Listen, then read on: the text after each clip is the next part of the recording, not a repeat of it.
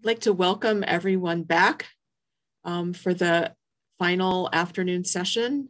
Um, our final roundtable today is on, on, is on the important topic of gender and leadership, equity in peace building. Our panelists are Peter Adeyeye, Amanda Luce, and Caitlin McMillan, with our Duke Faculty Director, Catherine Admay, moderating. Again, their bios can be found on our conference webpage and in the conference program.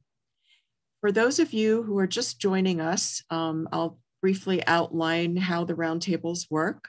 The first half of each roundtable is devoted to discussion between our panelists, and the second half will give the fellows the opportunity to respond to you, the audience's questions. Some of these questions have already been submitted by email you have a question this afternoon, please submit it in the question and answer box. Um, we unfortunately that won't have time to answer all of your questions, but we'll do our best. And to remind you that today's conference is closed captioned and you can turn this on by clicking on the CC icon. Let's get started.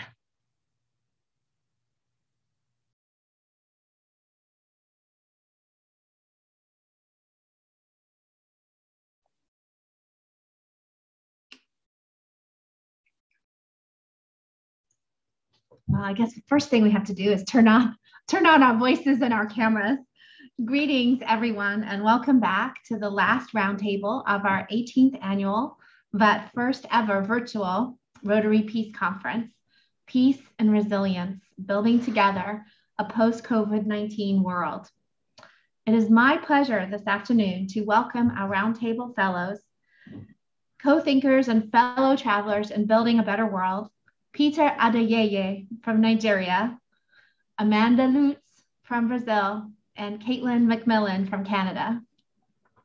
My name is Catherine Admay, and while I'm a national of the United States, I am first and foremost in my heart and mind an English speaking South African.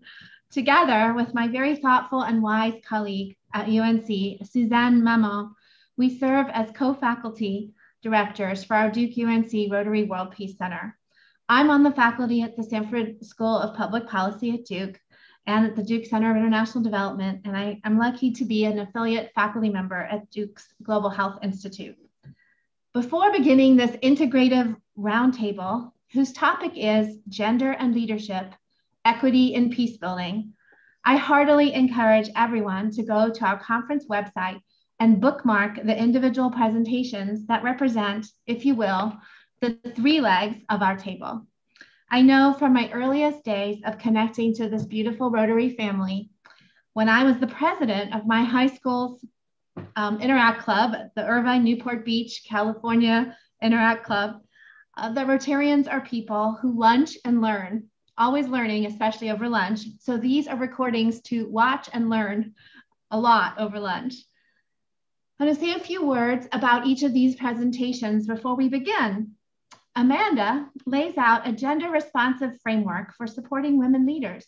She explains how women, in this time of great need for innovation and creativity on the part of our leaders everywhere, are finding ways not to be ignored, excluded, or left behind. She asks, what are the conditions in which collaborative and equitable leadership across gender identities will arise? Her gender responsive framework and the work she is doing to implement it concretely at the granular level provide us with truly inspiring answers. Peter connects strongly with this theme of rising, who rises, how we rise. In his case study from Nigeria, as a man in a country where women literally are pelted with tomatoes and jeers for marching on the streets to reject sexual assault and harassment, he intentionally, as one of my boldest former women students from Nigeria puts it, flips the script, or one might say, changes the narrative. His civil society organization, which he co founded before he ever came to Duke, is devoted to raising, in two senses, in two key senses, women leaders. First, to ensure these women leaders are nurtured and supported to come into their own. Second, to work so that their work is raised to a public level, is made visible. our global community at the most local and at the most global levels will thrive, Peter believes, when women rise and rise up. Kate's presentation on women, peace, and security is based on a report she co authored for Oxfam International entitled Do Our Voices Matter? It was published in December 2020. You can find it online, it's worth reading in full. She tells the story of how women go before the UN Security Council to help this body deliberate more effectively and be more responsive, and yet are too little heard. As the Nigerian novelist Ben Okri puts it, it is one thing to be given a chance to speak, and another for our words to be heard. Mm-hmm. We know whether we are heard by what happens next, who respectfully comes alongside us, who brings their power and resolve to build together the meaningful, inclusive peace that makes for positive peace. Rotarians are known for coming alongside and for building together. And in this hour, as in the two we had this morning, we will hear how our Peace Fellows first understand the world as it is, second, work to imagine it as it could be, and third, gather steam towards enacting and embodying in their own work these visions. Turning to the topic of gender and leadership, equity, and peace building, I'd like to begin with each of our fellows having a chance to do that first level of laying out, recapitulating briefly their main analyses. So I'm going to turn first to Caitlin. Can you provide us with your sense of the key ideas from your presentation that you'd like our audience to retain, Kate? Absolutely. Thank you so much, Admay, for those lovely introductions to the topic and to ourselves. And it's just wonderful to be here with the Rotary community today. I'm just going to share a slide very briefly, um, and then I will take it down because I know that it always makes our faces a bit smaller. I want you be, to be able to see us.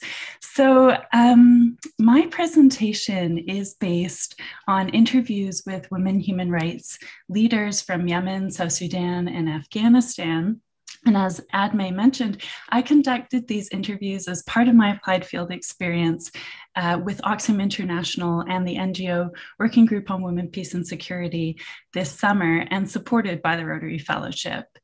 And this work really emerged from a long-standing problem that women are today still vastly underrepresented and undervalued in the majority of formal peace processes and many high-level decision-making spaces to the ultimate detriment of peace building efforts. And as I say in my work, peace building that fails to include the views of women and other marginalized groups and account for their experiences, rights, and interests is doomed to fail and even set the stage for future conflicts because it is predicated on inequality. So let me stop sharing now and then continue so from a human rights perspective we know women have a right to be involved in the decisions that affect their future and we also know that peace agreements are more likely to be durable if women and other civil society groups are involved throughout the process. Yet, despite this evidence, women's exclusion in formal peacemaking spaces persists. So, the women I spoke with are really raising the alarm. They do an incredible amount of peace building in their communities, and they're going to the highest levels, like the UN Security Council, to say, hey, these are the conditions for people, and this is what we could be doing to stop conflict. But then their points aren't being taken on board, and state actors aren't being held accountable to their voices, experiences, and expertise. So we're calling for more meaningful uh, listening and participation, and that's what I'm trying to highlight in my work. And in my presentation, I share some of women's specific calls to actions uh, that they shared with me, including partnering with networks of human rights defenders like the Women's Solidarity Solidarity Network, which was co founded by two Yemeni women, um, and to help amplify their, acts, their um, actions and expertise by also directly resourcing women led civil society organizations in conflicts in, in conflict set settings, which are chronically underfunded, such as Mwatana in Yemen, Women in Peace in Afghanistan, and the Center for Inclusive Governance, Peace, and Justice in South Sudan, which are all organizations the women I spoke to are involved with, among many others. And these, I think, are critical actions that important international actors like Rotary could be leading on that would make a real difference to the possibility of peace and the lives of women and girls around the world.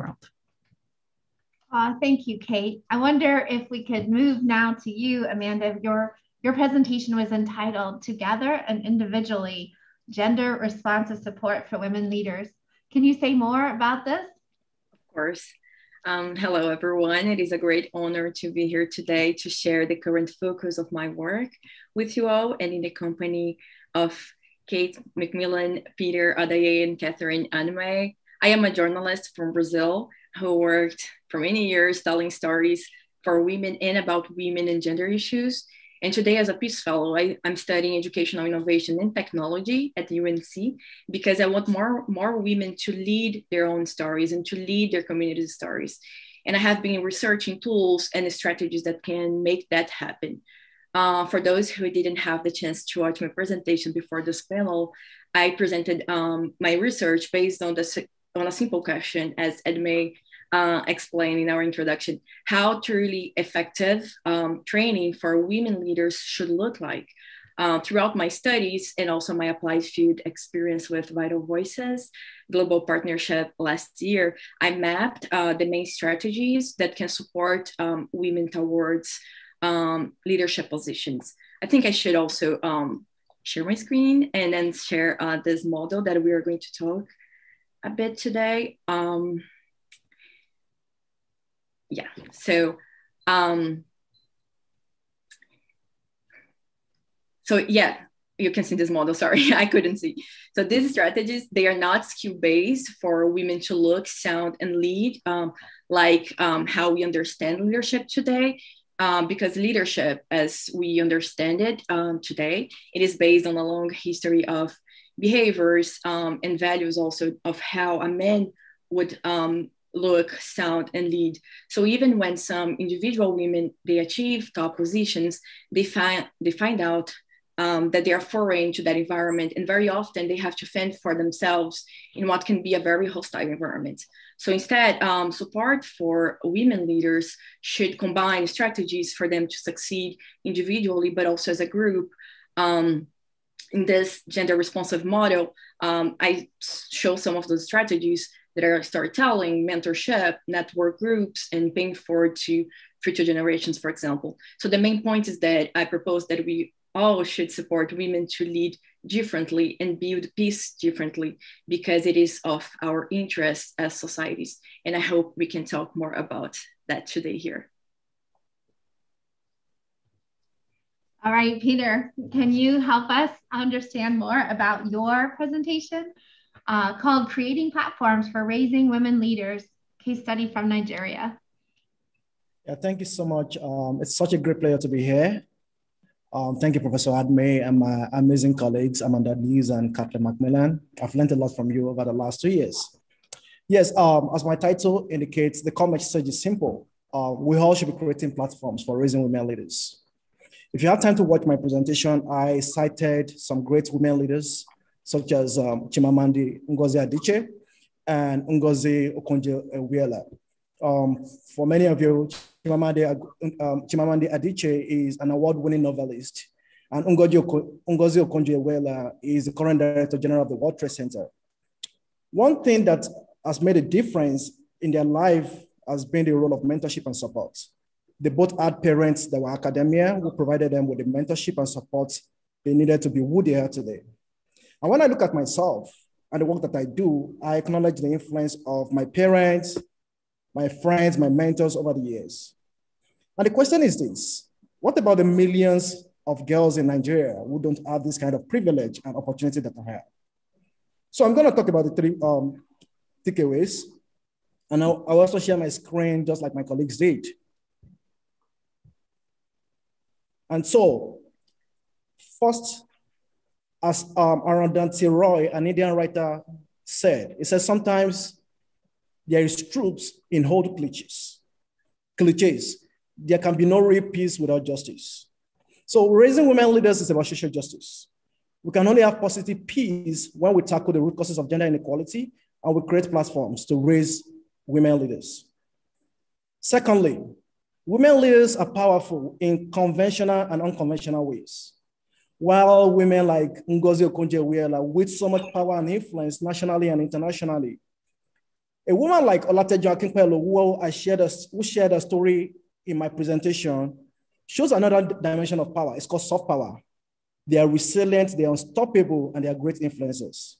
The last point, when we raise more, when we raise more women leaders, they will influence policies that will pull other women up. And together with all of us, we can, as allies, we can create a just and equitable world for everyone. Thanks, Peter. And thanks all of you for opening in, in this good and strong way, leading. Um, let's turn now to the question that I think Amanda's presentation put squarely on the table and that all of you, all of you have spoken to. All of you highlight the need to work differently, to quote um, uh, Ellen Sirleaf Johnson. And I'm wondering if you can say a little bit more about the pathways that you have found to challenge inequitable structures. So I'd like to ask Amanda if you would begin. Yes. Um, thank you for this question and thank you for bringing um, Ellen Johnson Sirleaf's uh. I, I highlight in my presentation this beautiful quote by um, former president of Liberia, Ellen Johnson Sirleaf. In that quote, Sirleaf says how the COVID-19 pandemic has shaken us collectively, uh, but women at all levels have come together to say that this shaking should be used to build a better and fairer world. And I like this quote a lot because it it spotlights at least three aspects of how we can work differently with a gender responsive model. So first, it highlights the idea that gender equity is good for the whole society. And it's not just the work of women and girls change happens when in societies around the world women and men in their millions say let's fix this. Let's inform and equip each other to say let's fix this um, second i like this quote because um, it highlights uh, that women can play a critical leadership role in building more innovative and equitable solutions in society and with the COVID 19 example, at the beginning of the pandemic, researchers were investigating why the few countries that are led by women were having better outcomes, for example. Um, third, and the core of my investigation, is that gender responsive support for women leaders is different from regular target training for individual women. Training for women to run for office, for example, is important, uh, but usually they do not address the challenges that women face later when they become leaders in a context that is embedded with barriers such as gender biases. So this gender responsive support um, should address specific challenges that women in disadvantaged and disadvantaged minorities face on the way to effect, effectively lead for the whole community. It happens through work on one's own experience and in relation to others in a process um, to gradually build new stories of how leadership can look like. Thank you, Amanda. Uh, Peter, turning to you, how, how would you go about answering this question of the pathways you have you have built really to challenge inequitable structures? Thank you so much, Professor Admay. Um, I think to work differently is to think outside the box, to do things differently to get better results. So one of the approaches um, we use in my organization, Boundless Science Africa, the organization I co-founded, is to explore the use of storytelling to raise women leaders. So we explore storytelling through what I call the vertical and the horizontal dimensions. So let me explain this. As you, may, as you might have seen from my video, we started the Women in Leadership Conference series, where we invite young women aged 15 to 40 years to learn from successful women from different sectors. The successful women we bring from different sectors, they share their stories to inspire the younger generation of women. That is what I call the vertical. It's coming from up. Also among the young women, we ask them to share their stories of resilience and we, pro we provide them with incentives, such as giving them a small grant to expand their business. In that way, you see younger women inspiring each other. So that's like an horizontal way um, of of influencing each other. So that's like the vertical and horizontal um, way of doing things differently. Thank you, Peter. Thank you, everyone. Our chance, our before we actually um, move to the second part of this hour, where we, I, I just like to call out now for those who are in our audience, please do um, add your questions so you can be part of our co-thinking here to the uh, to the Q and A and uh, we'll be we'll be trying to answer as many of those questions as we can. But one of the questions that we thought about in advance that we thought would be I might also jump in just with a uh, something to say on that question too, if it's okay. Sure.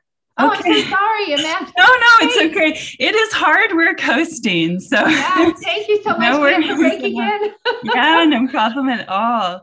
Um, I, I just love the question, so I wouldn't want to miss the opportunity.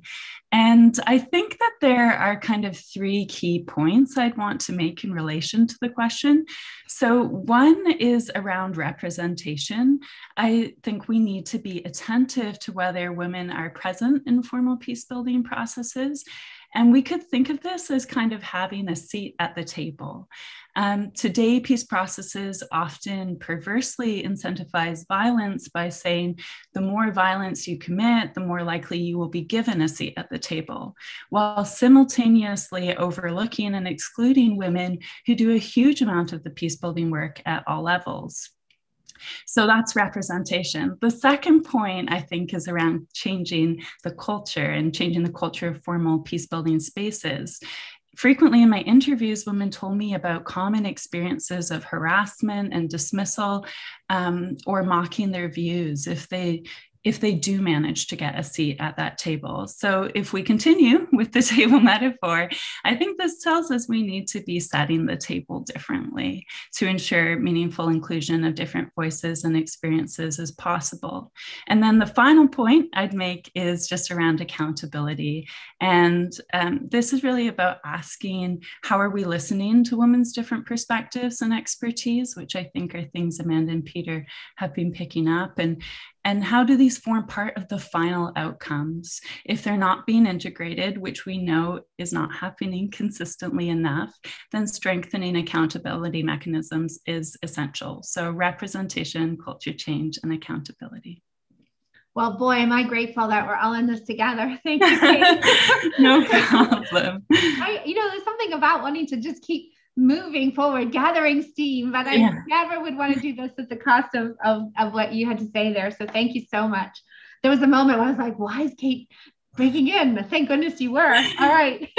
so on that, on that note, let's turn to the one uh, question that we have already co-thought together, but have a chance to, to bring our whole audience with us, which is to, to really talk more about storytelling. In every panel this morning, somehow or another, the word story came up.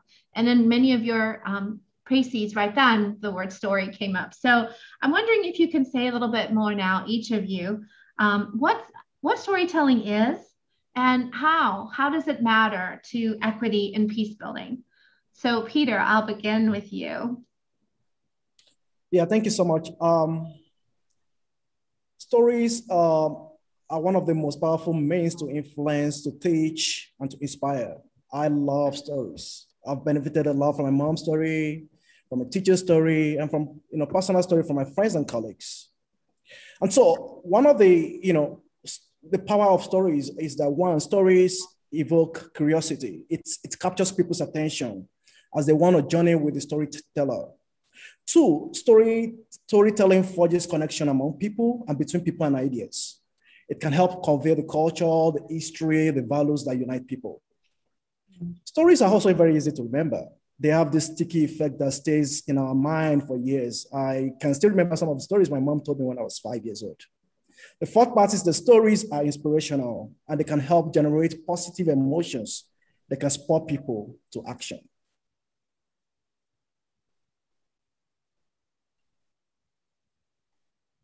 Uh, I'd like to ask us now, thanks for having started us out, Peter, if, if I can move now to the um, Amanda's answers to this this question. Yeah, uh, I completely agree with the examples Peter uh, provided. Storytelling uh, sometimes can be described as a, a, powerful tool. And I actually said that as part of my uh, research. And it can, of course, be a tool for education, for advocacy, or for social change. Um, but if I may say, I think primarily stories are this fundamental part of our human consciousness. Stories are part of the way we think, uh, the way we feel, the way we remember, um, and the way, uh, perhaps most important, more, most importantly, relate to others. So I think I think it makes sense that um, in the previous panels, but also the three of us are talking about storytelling in this context um, of women and leadership because we are imagining new pathways and building differently. Um, as part of the leadership development support, um, I say that storytelling could help us with at least three goals. First, it will support self reflection and what is um, um, women leaders' sense of a larger purpose individually. Um, this can help them overcome later the challenges they face once they are in the political arena. Um, second, um, storytelling can help women leaders to share this sense of purpose and connect to others, creating this shared um, sense of purpose that other people will be uh, willing to commit to. This is important because to also overcome the challenges um, and to make their voices uh, make a difference, women need this group support um, and the, their community support too. And third, as Peter tells in his case study, um, I think storytelling is a great way for also to pay forward, inspiring other generations to come. Um, I, once I had this um, opportunity to listen to a Congress, Congresswoman tell us in a training session that she was very influenced by the former female president of Finland, who asked herself, why not me? And this Congresswoman was inspired by this and asked herself, why not herself too?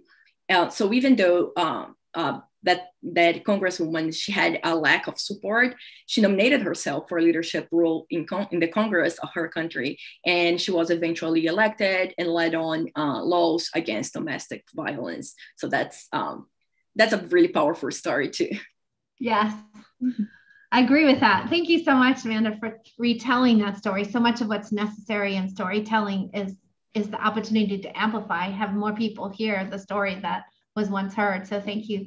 Kate, could you could you offer your thoughts on yeah. storytelling and how how they work towards equity and peace building?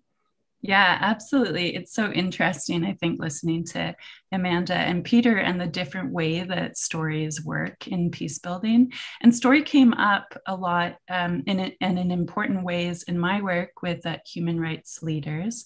All of the women, for example, that I interviewed have shared testimony with the UN Security Council to raise attention to conditions and unfolding in their communities and call for immediate action and support. So, this testimony to me is a type of storytelling. The information women share weaves together collective experiences. They carefully gather information from across civil society, gaining consensus and synthesizing the most uh, pressing concerns. Their testimony brings nuanced and unusual information that decision makers in the Security Council may not hear otherwise. And so, testimony is a type of story that provides this critical evidence and it asks us to listen, to witness, and act differently in relation to the story being told. When story, I think when story is shared as testimony, it asks us to consider our ethical, moral, as well as legal responsibilities to each other but sadly, the compelling information, as I mentioned earlier, shared by women is often not fully listened to or acted upon by those in power. A final point I would make on story would be to presence the ways the women I spoke with do situate their opportunities to share testimony as part of a lineage of stories. And several of the women I spoke with saw their stories as opening a platform for others to come forward. And in this way, I think stories open space or they keep space for civic dialogue open. One woman from Yemen shared the sentiment with me saying every time one of us goes up, we also take somebody else with us and try to give the stories of the others. Wow, such a lovely, lovely way of putting it. one of the things I really have appreciated about working with all of you is the way to which degree to which you're always mentioning each other, amplifying each other, amplifying other people who are amplifying each other. So uh, it's something that I think has to be done in our everyday life, mainstream, as we say, right? So this is an opportunity for us as a as a trio and this roundtable for us to to reveal to our audience the degree to which we have become friends, right? Where we've come to really be fellow travelers and to co-think what it is that we're going to do with our lives, which is, you know, the the the huge opportunity and the challenge we all face is how do we become peace builders? And part of how we become peace builders is because we attune to others and support others and gain inspiration from others. So I'd like to ask you now, um, in the few minutes we have before we start our second part, um, to co-think on point, as lawyers like to say, where you will choose one part of one of your fellows' presentations, just one element in that presentation, and say how it resonates with your own work. Uh, so in this way, you guys will be like a choir, attuning and harmonizing, and of course, amplifying each other. And, and to begin, Kate, could you offer us your resonances with Peter? Absolutely, yeah. I mean, I was really struck by what Peter said today, but also in his presentation, his discussion of allyship and how the work of gender equality is everyone's responsibility, not just women's. This really comes from a place of recognizing that equity, as in the systems that work better universally, benefit us all. And Peter highlights the story of Senator Abiodun Olujimi, saying that in 2016, she raised the motion for the Gender Equality and Opportunity Bill, which was a piece of legislation that would uh, domesticate the Convention on the Elimination of All Forms of Discrimination Against Women in Nigeria. But unfortunately, that bill didn't pass. And Peter wonders if that's because only 4% of uh, members of the National Assembly are women. And that really made me think. I'm wondering about how we shift these sorts of moves away from a niche women's issue to promote the understanding that we all win when human rights are promoted and fulfilled. Maintaining an unequal system hurts everyone and it breeds violence and other forms of harm.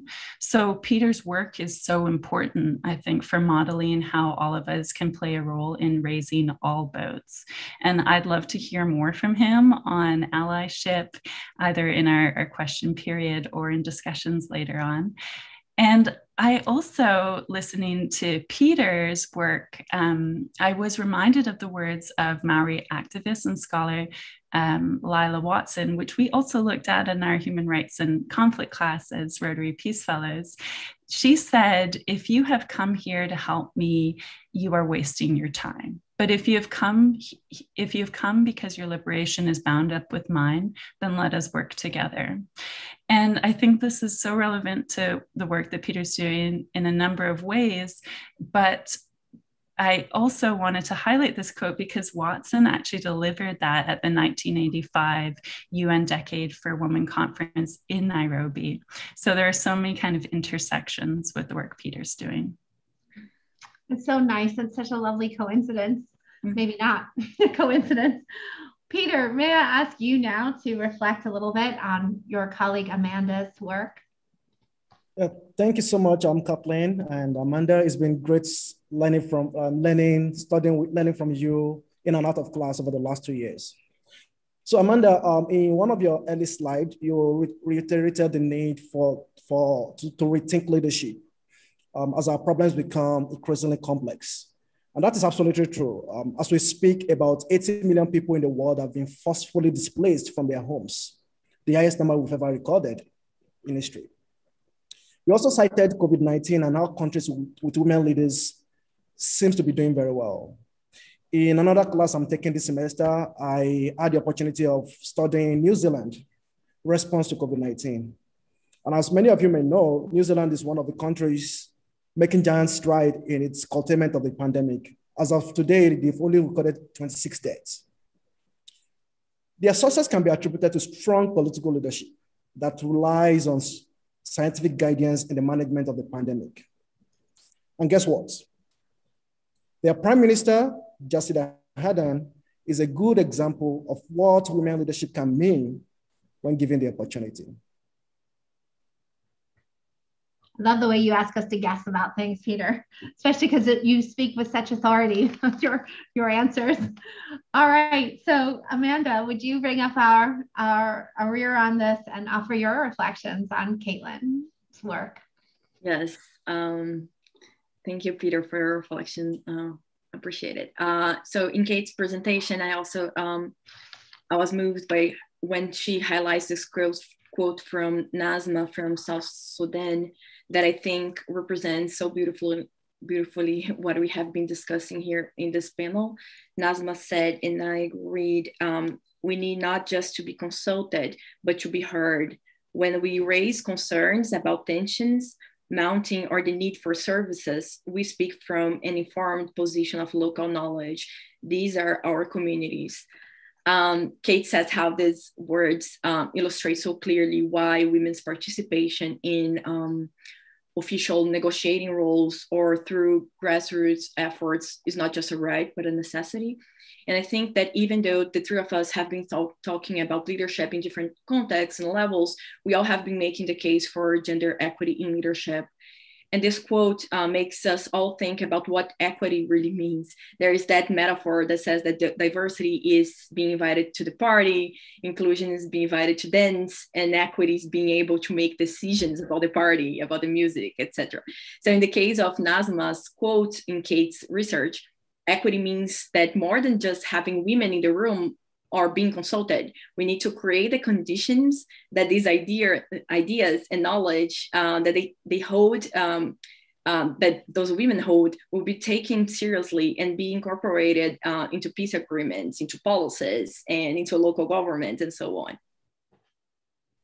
I really love that beautiful uh, epigraph on diversity, inclusion, and equity. Thank you so much, Amanda, for sharing us that with us.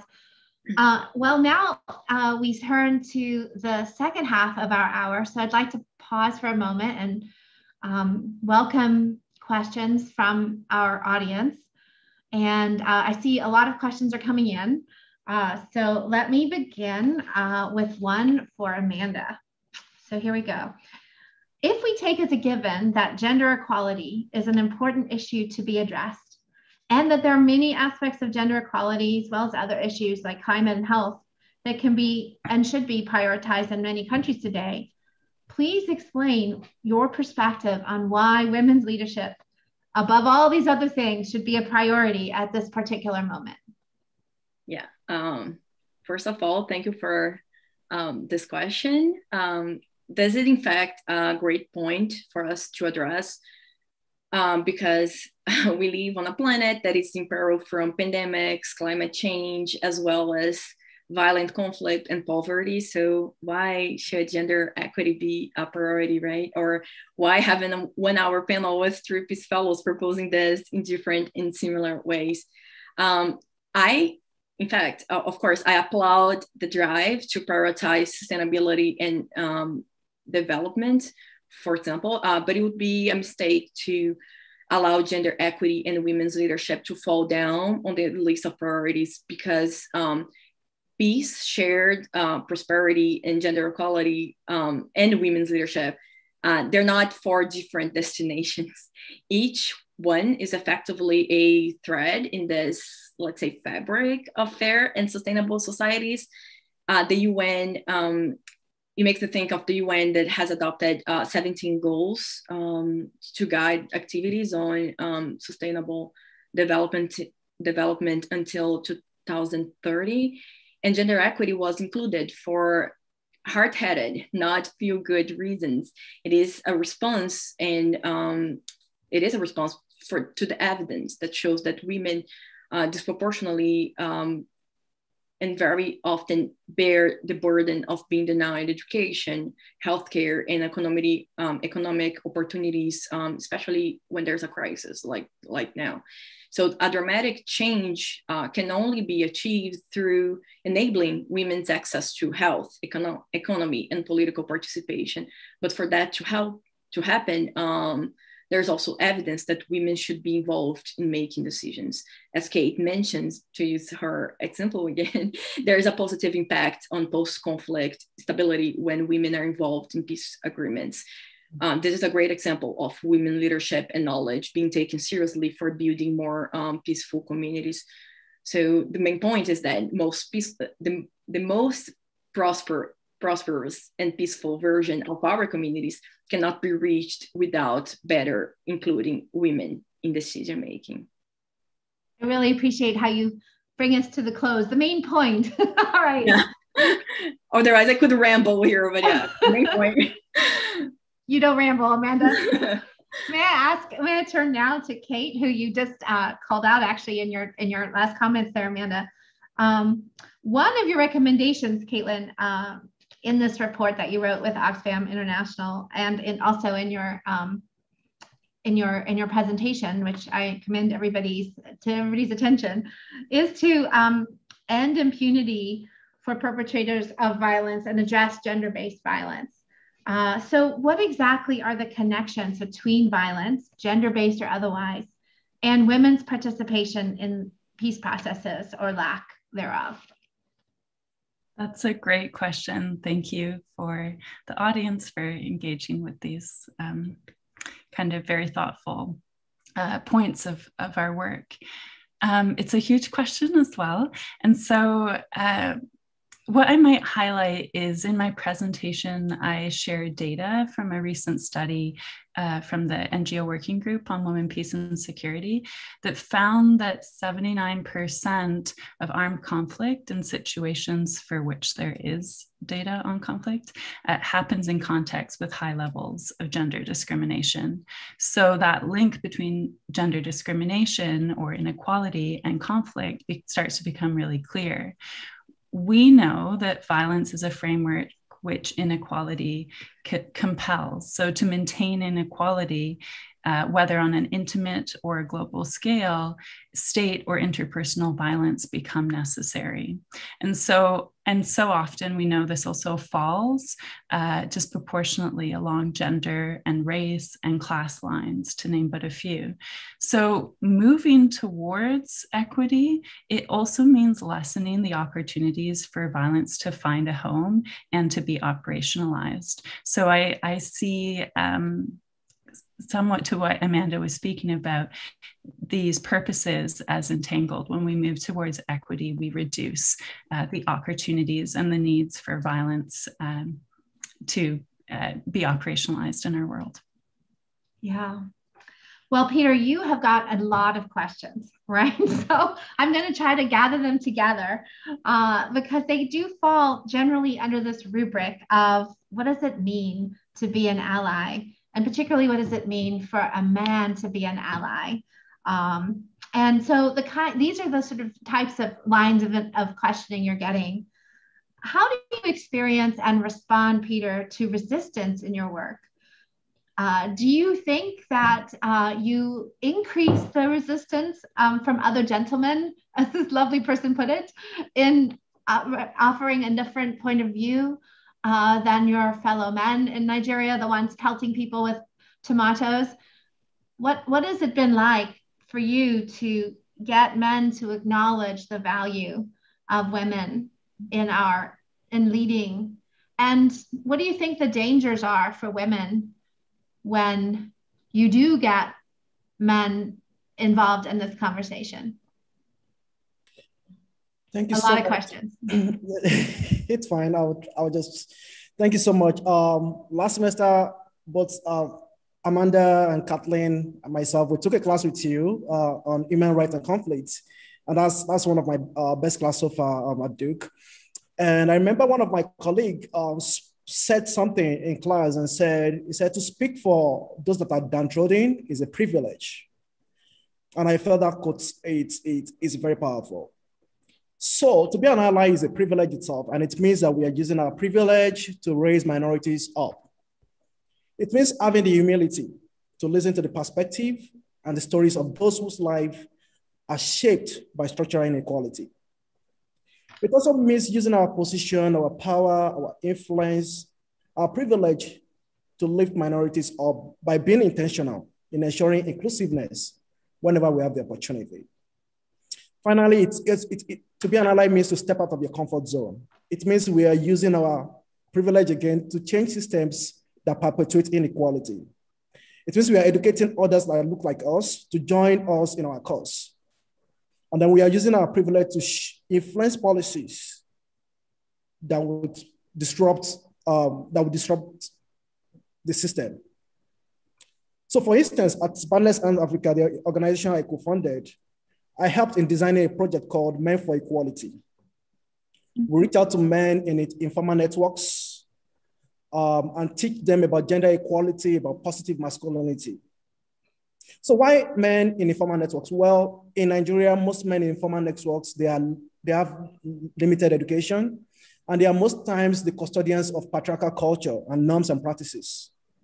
For instance, I remember when we were engaging um, some men, I remember one man said that he feels justified to beat his wife as a way of correcting her. So, but, but interestingly, as we, start, as we strive to engage men, they begin to open up about their own insecurities, about their own vulnerabilities, and they started to see that gender equality helps everyone actually. Um, so that's that's one of the ways you know to do that. Yeah, can you tell us any stories, Peter, of of, of men pushing back and of saying that you're wrong, and how you've overcome that that kind of pushback? I, I, I get I, I, I get that a lot um, from it's so interesting like even some of my you know colleagues um, say they uh, you know they don't see why I so I get this question all the time why are you advancing for gender equality itself and I was I if you watch my presentation I grew up in a family of four boys but my mom raised us you know my parents raised us to to love and um, and lift others up and I, I, I also recall a story my mom, you know, my auntie told me uh, while growing up that when my mom was in college, that she always prayed that all her children would be boys. And I, I wondered why. I asked her why, and she said, as a young as a young lady, she doesn't want any of her children to go through what women go through, most women go through um, in, in, marriage in Africa. And I was touched and I'm moved by that. So a lot of the times I, I get, you know, questions, people asking, why do you have to do that? It's too idealistic, it's not possible. But I convince them and stick to my goals. Yes, that winning way is convincing. I can, I know. All right, I'm going to ask some questions that I think can be cast for our whole uh, roundtable here. Um, and, in the way I'm amalgamating some of these questions, one of our audience members said, Thank you to all of you for your courage to listen and lift women in leadership. And another person asked, What would you advise Rotary and Rotarians on being a leader in gender equity in all forms and aspects? What could be some goals? So I wonder if each one of you could formulate a goal that Rotary should take to heart as a way for Rotary to build a new world as peace builders, as Rotary to make pathways for equity. So one goal, Peter, you've been talking a lot, so I'm going to ask Kate, Caitlin to go first. Not that you have been asking you, Peter, to talk. So I'm going to move to, to Kate, who I didn't mean to exclude earlier, um, to, to offer one goal, and then I'll come to Amanda and then to you, Peter. Mm. I think Rotary has a great um, space that it's already building from with its four way test, which is really about asking questions about, um, it, at, you know, it, are these things that we're doing leading to positive outcomes? And I think as a goal, um, part of kind of taking that that test further and, and kind of integrating it into everyday life and work is about um, also looking around and seeing who's in the room and how people are being valued and listened to. Um, we all have the power in our everyday lives just to um, kind of be this change to listen differently if we see someone uh, someone's ideas perhaps not being given um, full weight and a full platform to be explored and um, so I do think Rotary is a great space for already modeling some of this. Mm-hmm. I think, as well as I've spoken about earlier too, uh, there are a lot of other organizations that are local and they do a huge amount of peace building work, but they don't often get on the radar of big organizations, including Rotary. Um, and many of the women I um, highlighted in my research are part of those networks and organizations, and they're, you know, chronically underfunded. They don't have enough partners to help them with this work. And just um, reaching out to those sorts of organizations, amplifying the messages uh, that they are, and, and the work that they're already doing is a huge. Um, is a huge benefit. So it doesn't necessarily mean that Rotary itself needs to reinvent the wheel. Some of this work is really taking place, and Rotary has such an incredible power and network to lend it weight that would make a real difference.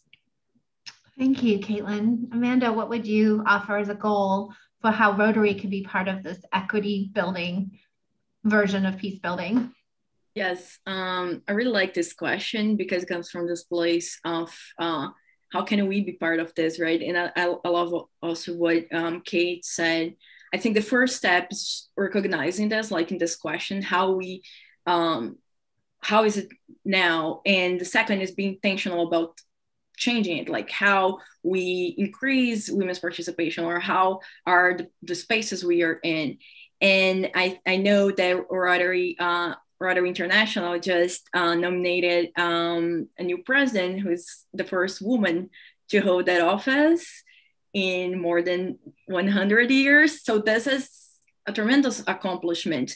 So what i would say related to this question it's like how do we make that um, Jennifer Jones, right? Like, how do we make uh, her not a, as an exception, and how we make sure that her um, what she's proposing is being um, recognized and being amplified, not because she's a woman or despite of being a woman, because but because she's a leader and she can um, do her job uh, without um, um, the influence of gender biases. So, and maybe she will be just the first of many other uh, women leaders to come in um, in the Rotary's um, history. Let's hope. That's right. All right, Peter. So a goal that Rotary can embrace, an additional goal to be part of the solution and not part of the problem. Yeah, thank you so much. Um, I was also going to say that it's it's amazing to see that Rotary elected the first female president in over 100 years and that's that's something I would you know encourage like creating more spaces for women in leadership. And as part of that is also um, just like Amanda's presentation on gender responsible responsible leadership framework. We also need to give these strong these women these strong women all the supports they need to excel in their positions. Um, I also, you know, I, I appreciate like our Rotary's um, sponsoring like the Rotary Peace Fellowship, and we have like more, we have women being like we have platform for women um, in the fellowship. Um, I think there are also like many other initiatives that Rotary can be doing to empower women across the world to become leaders themselves. So um, I think the big picture is Rotary can do more. We all can raise platform for creating women leaders, and every opportunities that Rotary can do, they should continue to do that. All right. Well, Peter, thank you for for reminding me of uh, the way that we would like to finish out our roundtable. Uh, but before we get there, uh, there's just one other question that I see um, on this beautiful Google Doc that has been put together by the vaccines um, of our center. And, and this actually goes to this question of understanding women leadership and whether there's a difference in kind uh, when women lead. Uh, and, and part of the difference in kind might be around whether we foreground individuals or whether we uh, make room for and actually center collectives. And as you think about leadership, I wonder if each one of you could speak.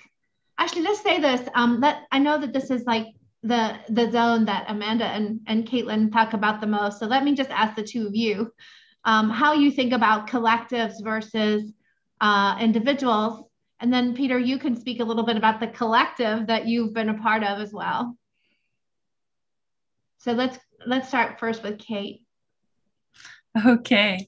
Yeah, it's, uh, you know, often collective and in- individual get pitted against each other. But in reality, and in the work that I've been doing with women peace builders, um, it's actually much more nuanced and interwoven. So, the work that, say, an individual who goes to brief the UN Security Council does to share that story is behind the scenes has been um, collectively put together. So it's in the kind of um, as soon as a as soon as a, a woman will find out that she's getting this opportunity, um, there is there are these processes that they've described to me of basically sitting together, working on the priorities together, letting things emerge, and they're not always easy processes. And I think anybody who's worked in collectives and tried to move ideas forwards knows how fraught that is because we do all have our individual agendas and identities and priorities. But the idea is that um, it's in the working through that we get somewhere better. And the women human rights leaders who I work with in my own work, I've always recognized this uh, that you know we as individuals don't have the answers so the working through uh, as individuals, as our ideas in collective spaces mean that um, we have a fuller understanding of the world and we're able to kind of bring to bring forward a vision which works for more people. So they're kind of always i think there's always this this working together of individual and collective. Yeah thank you for that point of nuance and the ways in which they connect that, that individuals represent collectives often I wonder if there's something brief that you might add, Amanda and Peter, before we go to our final segment. Yeah, I just want to say quickly, um, to add quickly that um, even in countries where women um, individually achieve the top position in the office, like presidents, today research shows that does necessarily citizens still think that women shouldn't be in that position.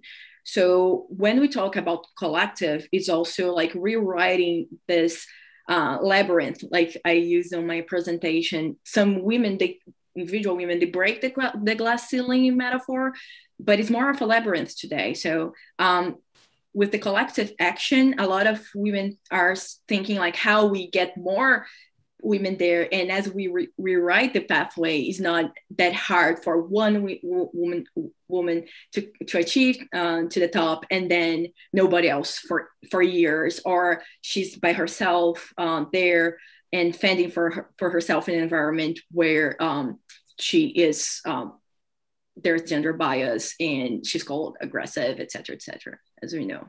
Yeah. Yeah. Peter as somebody who's who's helped create a collaborative and a collective. Can you say final words before we move? Yeah, I would just say um, I will quote from a, a quote. I can't remember who said it, but somebody somebody said, "If you want to go fast, go alone. If you want to go far, go together." And I, I, I believe if we want to correct structural inequality such as gender inequality, we need to work together. Perfect. Yeah, it's really nice. All right, guys and women, actually, women and men. Um, let's uh, close out this segment, uh, this final roundtable of our conference, um, with you saying a little bit more about your next professional steps. So, if if the world gets changed one step at a time, one person at a time, going far together, Peter, um, can you just say more about how you will lead uh, in the way that you lead your life, how you will uh, lead towards equity? And Peter, may I ask you to begin? Okay, sure, great. Thank you so much. Well, I will continue to, to pursue social justice by creating platform for raising women leaders. I mean that I will continue to incorporate gender responsive leadership framework and the work that I do.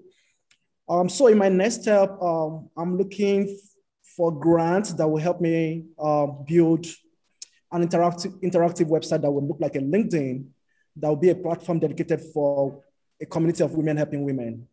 Um, as I said in my presentation, uh, we have a WhatsApp platform that has over 200 women um, where these women interact and share resources. But that's, there is a limit to what you can do on WhatsApp. So we, we're thinking of like creating a big website that will be a platform for like mentorship, for support, for sharing resources and so on. And, and it's going to be global um, and it's something that can be done every, anywhere. Um, secondly, for the next couple of years, I will be in the US for some personal reasons. So I'm really looking forward to inter international development opportunities in the US that will give me the opportunity of leading the design and implementation of programs for disadvantaged minorities subject to structural inequalities. Thank you all for giving me this opportunity. I know you will. All right, Amanda, how will you lead towards equity in your professional and personal life? Yes, um, I'm working on two parallel pathways. Uh, first, I'm currently working working on the design of a leadership development program for girls based on this gender responsive leadership model that I just presented today. It will be a web platform with 15 modules and tools to support girls, the younger generation of next leaders, to collaborate across differences in background, race, citizenship, and to create the changes they want to see in the world. This is a personal project, and I will start applying for grants and funding over the summer to launch it, hopefully this year. And the second pathway is that I'm also currently searching for a job in inter international organizations that support efforts for inclusive leadership and civic engagement to pay forward uh, this incredible opportunity provided by the Peace Fellowship. I want to use my background in communications and education to support more peace builders. Thank you so much, Amanda. Uh, Caitlin, how will you continue to lead towards equity in your professional and personal life? Well, I really plan to take the lessons of inclusion and meaningful participation forward in my PhD research, which is with women who are survivors of war and torture. And my work really thinks about psychosocial support in the aftermath of violence. There's currently huge gaps, and it's kind of considered this black box in humanitarian aid. So I understand that in order to open that up, we need to um, understand the importance of centering uh, survivor stories and unpacking what's needed in that space, and also creating safe listening spaces if we're going to move towards more caring and equitable environments for care. And so, those are some of the ways I really want to integrate what I've learned from doing this work as a Rotary Peace Fellow into creating those support solutions for women survivors of war. And I also think that doing this research this past summer with women from Yemen, South Sudan, and Afghanistan has really reminded me and re exposed again this depth of the problems of exclusion that still exist and how detrimental this is for peace building efforts. There's already so much work that exists on how to achieve meaningful inclusion. So the solutions are there and these changes are possible. They can be made but it requires political will, and that's lacking. So I think governments like my own in Canada, we can really be stepping forward and stepping up to model these different expectations in peace and conflict decision making spaces. And I plan to be part of those advocacy efforts to ensure these changes happen. And I really want to thank you for this fellowship. And I'm sure I speak on behalf of all uh, my cohort. because of this fellowship, I think we recognize that people have invested in us, and that gives us an extra reason to go out in the world and insist on peace building. Wow. Thank you all so much for what you have brought to the table and the ways in which you are reshaping the table. I, I actually thank the, the forces of Rotary, and there's so many, right, uh, for helping to give you force in your lives, right? To actually give you the analytical and the imaginative force that you have, but you have really taken it and run with it. Um, and I, I, guess I'd like to end our, our roundtable here um, to, to say that, that Rotary is a part of listening to the Nobel laureate Ellen Johnson Sirleaf when she says we are not only saying build better, we are saying this time build differently. And I just want to commend Rotary as well for having understood that one way to build differently is to invest in these kind of peace builders. And I want to notice with everyone today how they have invested in building peace builders. So we have this beautiful example before us of the one pebble in the water that has very many ripples. And this is one of the layers that we see before us. So um, let me congratulate all of you for all of what you've done and all of what you will still do. Thank you, Admay. Thank, Thank you all. Thank you so much, everyone.